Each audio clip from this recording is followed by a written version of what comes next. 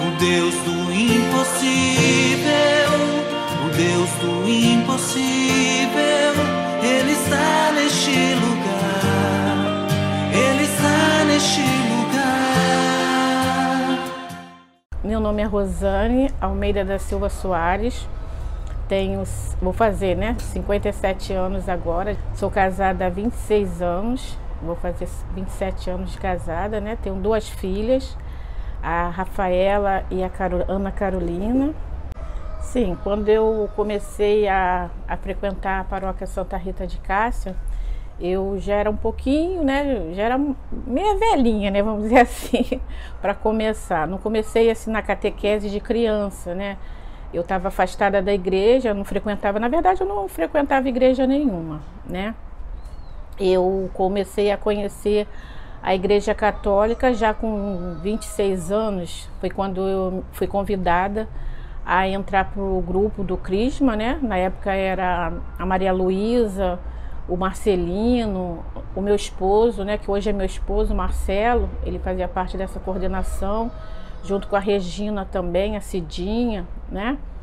E é, comecei assim, né? Fazendo o crisma. E quando eu cheguei, a igreja é, já estava prontinha, vamos dizer assim. Eu não vi desde a base, porque tem pessoas mais antigas que, né? É, ainda estava em construção, né? Então eu não, não, conhecia essa época. Quando eu cheguei, já, a igreja já estava é, pronta, com o salão pronto. É, me lembro que tinha uma sala, já tinha uma sala, já tinha uma, uma, uma secretaria, né, onde funcionava ali o atendimento. E foi assim que eu conheci. Porque na verdade eu me crismei dia 8 de maio de 1994, né? Até nesse grupo eu conheci Marcelo, né? E, é, nos casamos, né? Conheci ele ali, né? E depois disso, é, em 95, eu fui convidada né, pelo falecido seu Hernandes, nosso irmão Hernandes, a entrar para o apostolado da oração em 95. Tive a minha admissão dia 1 de dezembro de 1995. Comecei a trabalhar né, com apostolado né, durante um tempo.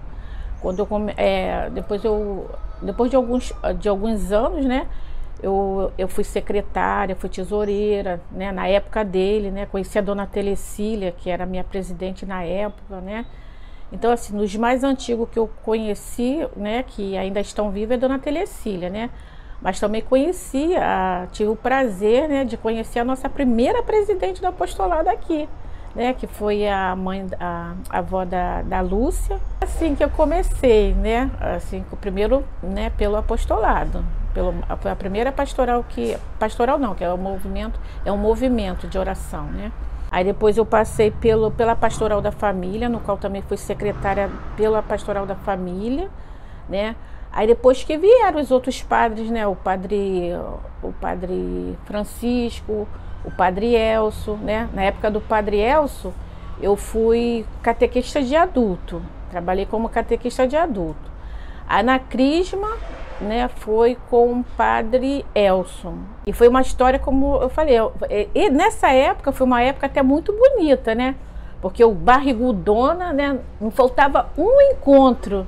E aí o que, que eu fazia? Eu pedia, né, assim, amigos de outras paróquias, né, assim, pessoas é, às vezes nem conhecia, só ligava, né, para os outros coordenadores de crisma de outras paróquias, eles vinham sem me cobrar nada, sabe? Eu só fazia um cafezinho, levava um bolinho e, levava, e subia aquele morro com uma bolsa cheia de coisa, né?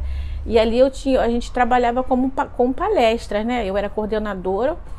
Claro que eu fazia algumas palestras também com eles, né? Falava o que tinha que falar, mas a maioria, né, era as palestras eram feitas sim com pessoas de fora de outras paróquias que vinham para me ajudar, né?